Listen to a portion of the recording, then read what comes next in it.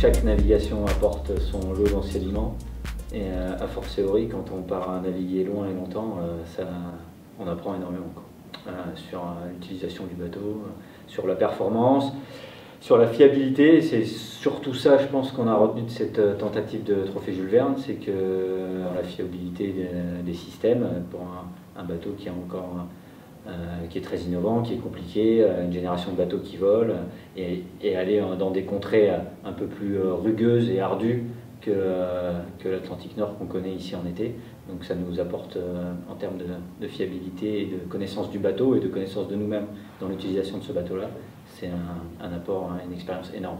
À l'issue du Tour du Monde, euh, de l'Atlantique du Tour du Monde, euh, on a fait beaucoup de débriefs sur justement tous les, tous les volets, euh, tous les volets de, de, ce qui compose le bateau. Et ben, voilà, on a, on, a fait, on a appris vraiment beaucoup. Et, et ce sont, ce sont combien de jours déjà avant le demi-tour? Euh, euh, non, ouais, 17 jours avant l'abandon, et plus euh, après, évidemment, il y a aussi le, voilà, la, suite de la navigation qui, qui est exploitée aussi. Hein. Donc ces jours, ces jours où, le, bateau est, est exploité dans des conditions réelles de ce pourquoi il est conçu, ce qui est plus difficile à reproduire à l'exercice de l'entraînement,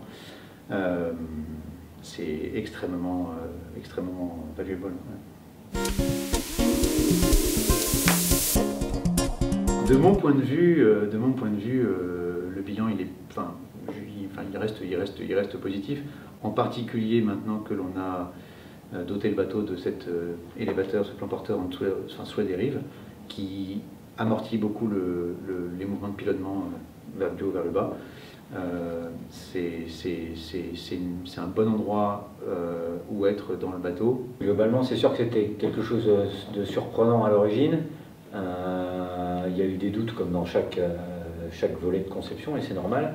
Et, euh, le bilan a, posteriori, il est, à minima neutre pour moi en termes de vie à bord et d'utilisation, si ce n'est positif. Et, et, de toute façon, on a encore de la marge d'évolution. Et, la vue est très belle à cet endroit-là. Et pour, j'ai aucun regret d'avoir le cockpit à cet endroit-là actuellement. Je trouve ça très sympa. Une belle vue? Ouais, c'est toujours bien d'être en première ligne.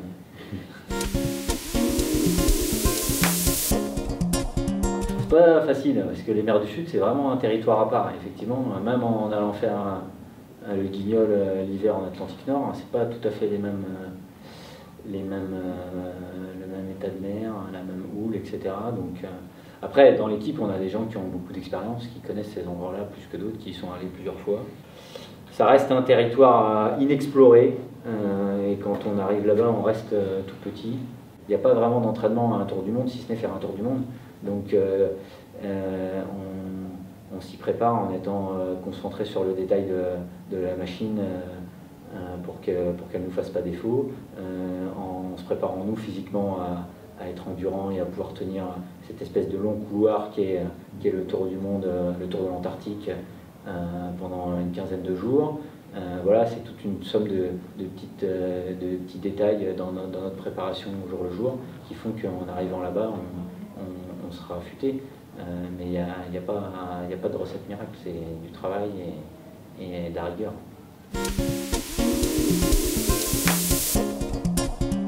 Bah, ça, c'est un peu la, la, bonne question. Déjà, pour gagner, il faut finir.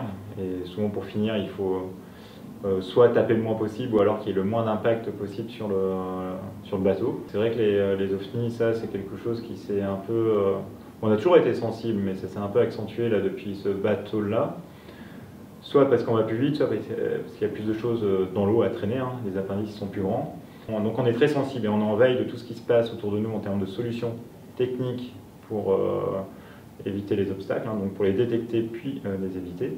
Donc là, les solutions techniques, euh, on est en, relation partenaire avec XBlue, qui nous offre une solution de fusion de, données. C'est une solution qu'il a fallu mûrir. Hein. Après, il faut vivre avec son temps. Donc ça n'existait pas les lidars euh, adaptés au bateau, enfin à l'embarquer, ça n'existait pas il y a encore un an et demi. Donc là, c'est des choses qui existent euh, depuis un an. Donc là, le temps d'adapter. Donc on, on l'a fait sur ce chantier-là d'hiver.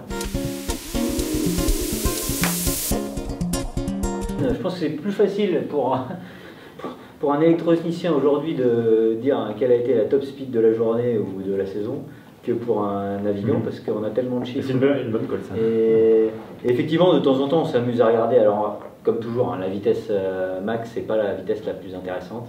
Euh, le but de ces bateaux-là, c'est d'être capable de tenir une vitesse moyenne élevée et non pas de faire des pointes.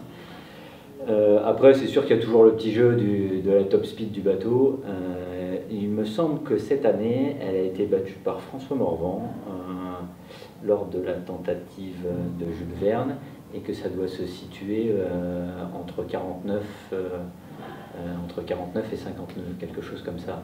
Enfin, en dessous des 50, mais au-dessus des 49.